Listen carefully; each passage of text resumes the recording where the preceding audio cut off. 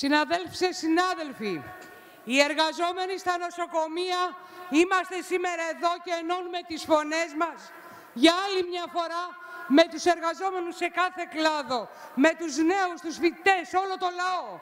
Είμαστε εδώ για να δώσουμε ηχηρή απάντηση στα προκλητικά, χωρίς ίχνος ντροπής ψέματα της κυβέρνησης για δίθεν θωράκιση του δημόσιου συστήματος υγείας την ώρα που τα νοσοκομεία έχουν ρημάξει από τραγικές ελλείψεις προσωπικού και η αναμονή για τα προγραμματισμένα χειρουργία φτάνει και ξεπερνάει σε αρκετές περιπτώσεις το ένα έτος, σπρώχνοντας βέβαια τους ασθενείς στους ιδιωτικούς όμιλους της υγείας, μετατρέποντας για ακόμα μια φορά τα νοσοκομεία σε νοσοκομεία μιας νόσου.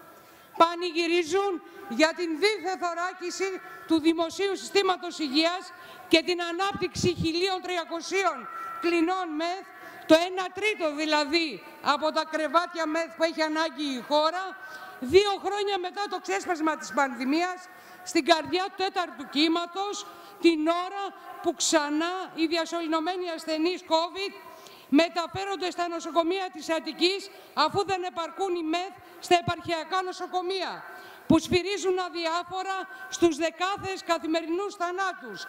Μετράμε ήδη 16.000 θανάτους σήμερα. Δεν μπορεί να είναι η κανονικότητα, η πρόβλεψη για 4.000 θανάτους ακόμα μέχρι το Μάρτι. Δύο χρόνια περίπου μετά από το ξέσπασμα της πανδημίας, τα δίθεν θωρακισμένα νοσοκομεία μετράνε 1.250 λιγότερους μόνιμους υγειονομικούς, ενώ οι ελαστικές σχέσεις εργασίας αποθεώνονται και η χρηματοδότηση συνεχίζει να μειώνεται.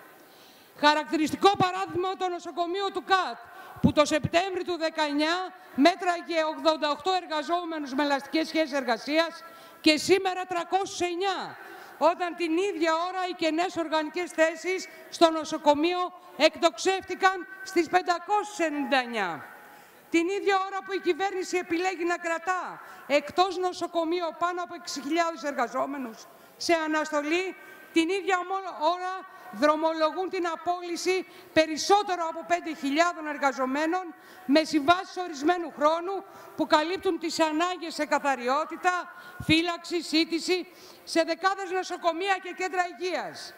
Έχοντας λοιπόν προετοιμάσει το έδαφος, έχοντας οδηγήσει τμήματα και κλινικές στα όρια της κατάρρευσης, έρχονται τώρα να πούν ότι η μόνη λύση είναι η καταργήση και οι συγχωνεύσεις επικαλούνται νομικά κολλήματα και το Σύνταγμα για να μην μονιμοποιήσουν τους συναδέλφους μας επικουρικούς, αλλά γράφουν αυτή την νομιμότητα στα παλαιότερα των υποδημάτων τους για όταν πρόκειται για την επαναφορά των μισθών μας στα επίπεδα πριν από τις μνημονιακές περικοπές γιατί ισχυρίζονται ότι λεφτά, λεφτά δεν υπάρχουν για να αυξήσουν τους μισθούς μας, αλλά βρίσκουν 13 δις για να αγοράσουν φρεσγάτες για, και για να δώσουν χρήματα ζεστά από τον κρατικό προϋπολογισμό στους ιδιώτες μεγαλοκλινικάρχες και τους ιδιοκτήτες ιδιωτικών διαγνωστικών αλυσίδων με τα rapid test.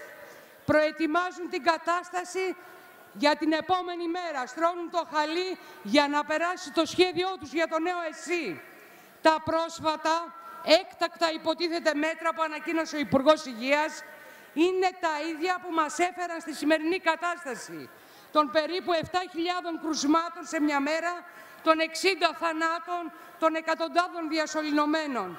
Είναι η ίδια λογική που έχει οδηγήσει στην κατάρρευση των δημοσίων συστημάτων υγείας σε όλο τον κόσμο, αδυνατώντας να προστατεύσει τη ζωή και την υγεία του λαού.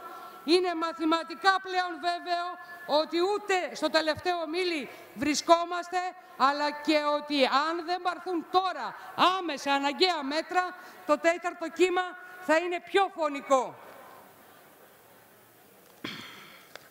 Η Και η κατάσταση θα γίνει ακόμα χειρότερο αφού το νέο ΕΣΥ που ετοιμάζει είναι φτιαγμένο με την ίδια ακριβώς συνταγή της εμπορευματοποίησης και της ιδιωτικοποίησης της υγείας. Γιατί το αντιδραστικό σχέδιο που η κυβέρνηση βαφτίζει νέο ΕΣΥ σημαίνει διατήρηση των τραγικών ελλείψεων σε μόνιμο προσωπικό, γενίκευση των ελαστικών εργασιακών σχέσεων ομοιρίας και ανακύκλωσης της ανεργίας. φτηνή, εξουθενωμένη, περιπλανόμενη υγειονομική από τη μια μονάδα στην άλλη για να μπαλώνουν τρύπες. Νέα μείωση του αριθμού κρεβατιών, νέα λουκέτα και συγγονεύσεις τμήματων. Νέοι κόφτες στις δωρεάν παροχές στους ασθενείς, στα φάρμακα, θεραπεία και εξετάσεις. Νέα δωράκια όμως και νέα πελατεία στον ιδιωτικό επιχειρηματικό τομέα της υγείας που λιποκτάκτη σε, όλους τους, σε, όλα τα, ε, την περίοδο, σε όλη την περίοδο της πανδημίας. Νέα παιδεία και κερδοφορία στην υγεία για τα τροκτικά από την παραπέρα εκχώρηση υπηρεσιών των δημόσιων νοσοκομείων της εργολαβίας στα ΣΔΙΤ. Νέο ΕΣΥ σημαίνει δημόσιες μονάδες υγείας, αυτοχρηματοδοτούμενες επιχειρήσεις δηλαδή, με μεγα, ακόμα μεγαλύτερη μείωση της κρατικής χρηματοδότησης και με έσοδα από την οικονομική αφέμαξη των ασθενών.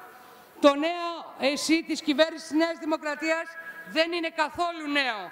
Είναι παλιά κατεύθυνση της Ευρωπαϊκής Ένωσης και του κεφαλαίου. Άλλωστε, το δρόμο που η υγεία θα αποτελεί ελάχιστο κόστος για το κράτος και τους επιχειρηματίες το έχουν περπατήσει, τον έχουν ανοίξει όλες οι άλλες κυβερνήσεις. Για να περάσει μάλιστα αυτή η πολιτική, με τις λιγότερες αντιδράσεις εξυγχρόνισαν το πλωστάσιο της εργοδοσίας και του αστικού κράτους με τον νόμο Χατζηδάκη. Στοχοποιούν τη συνδικαλιστική δράση, επιχειρούν να βγάλουν εκτός νόμου το δικαίωμά μας να απεργούμε, να διαμαρτυρόμαστε, να διαδηλώνουμε, να οργανωνόμαστε σε σωματεία και να κλεινούμε και να διεκδικούμε καλύτερες συνθήκες. Επιθυμούν να μετατρέψουν τους χώρους δουλειάς σε εισηγαστήρια προκειμένου ανεμπόδιστα να συνεχίσουν τους σχεδιασμούς τους.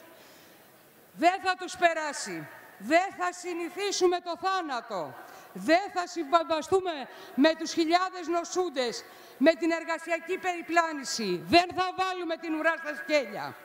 Θα καταθέσουμε όλες μας τις δυνάμεις στην προσπάθεια να οργανωθεί ένα μαζικό, μαχητικό κίνημα που με τα σωματεία δημόσιου και ιδιωτικού τομέα θα δώσει την απαιτούμενη απάντηση στο τερατούργημα της κυβέρνησης.